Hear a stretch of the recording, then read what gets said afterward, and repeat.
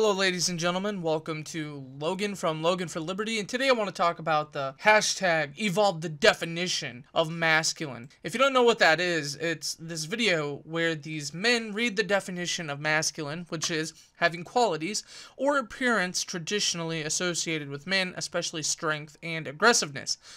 And then they read the synonyms, which are virile, macho, manly, muscular, muscly, strong, strapping, well built, rugged, robust, brawny, heavily built, powerful, red blooded, vigorous, hunky, informal, testosteronic, and mannish, boyish, unfeminine, unwomanly, Amazonian. It goes on. And I was watching this video, and I couldn't help but laugh because these men were like, well, none of those sound like me. Obviously, none of those sound like you. If you know anything about the human condition, if you know anything about the spectrum of which humans exist on, which ranges from extremely feminine to extremely masculine, and there's a wide spectrum, there are many different appearances that a man can have. These they they're taking these synonyms and they're pretending as if they are literal alternative words to masculine. They're not. They're words, they are words that are similar. Not every man is macho, but on average, if you're looking at a man and you're comparing a man to a woman, they will appear macho. That's on average. A man will appear manly when comparing it to what? When comparing him to what? A woman.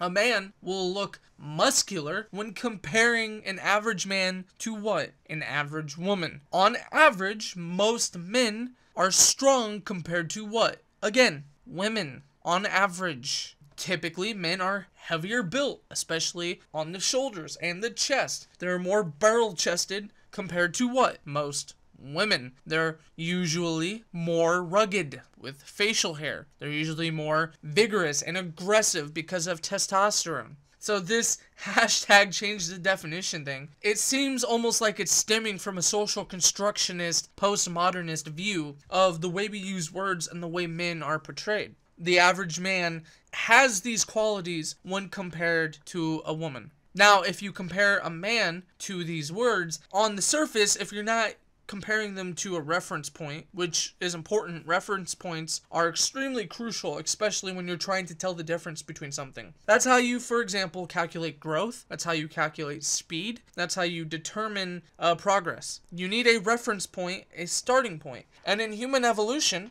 the starting point is from, there's two main ways that I can think of. From a boy to a man. That's one way.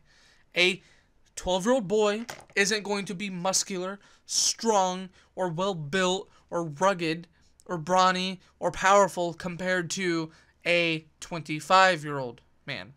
Does that make sense? So that is a reference point. You become more masculine as you grow up, typically. Another reference point is by comparing the average man to the average woman. Does that make sense? That is another reference point language is extremely important.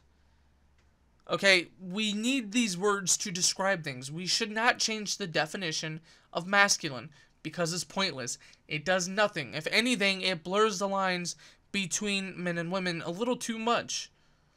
Obviously, there are women who are muscular, who are aggressive, who are well built, and of course, some are rugged and some are macho. But that's not typical of all women. Therefore, masculine is a word that is generally given to people who are masculine, which is usually men. On average. There's a reason why we say, hey, that guy's a little feminine, that girl is a little masculine, is because there is a spectrum of personalities and an equation of many different variables that can affect the way a human being looks or behaves. But if again, if we're going by averages, masculine as a word is necessary and is accurate.